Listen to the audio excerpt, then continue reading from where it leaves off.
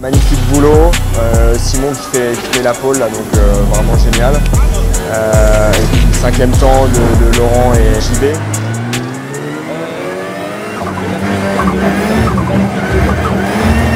Passe à Dono avec qui part en, en tête à queue et ouais, là ça a tapé fort pour lui des, des Alpines. Au comble, je vais freiner assez tard. Quand je prends le, le gauche, euh, le gauche des combes, en fait, là tout de suite, il y a l'arrière de la voiture qui glisse. Et euh, j'essaye de mettre le, le volant buté, de contre-braquer pour vraiment essayer de la faire revenir, mais euh, j'ai rien pu faire. Ça fait qu'on a eu la face avant complète d'arraché. Là concrètement ce, ce week-end c'est beaucoup de malchance. C'est des faits de course, donc euh, on se fait tamponner deux fois. Il y a quand même pas mal de voitures, donc euh, Tout le monde a dit non, non, mais on, on va tout faire, on va tout faire, et, et ça l'a fait. 7 heures de, de boulot non-stop, même, même bien plus.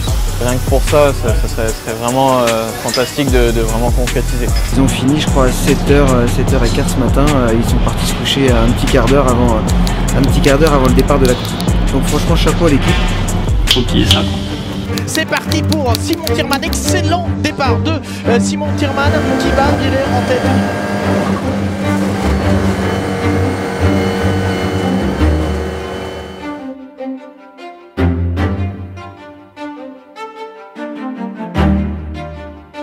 Là,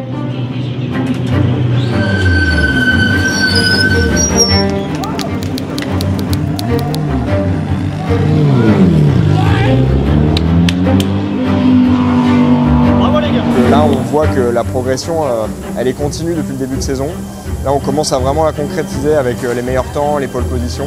Il faut vraiment y aller step by step et puis je pense que ça finira par y arriver. La prochaine étape, c'est les podiums, c'est les victoires, de ramener les trophées.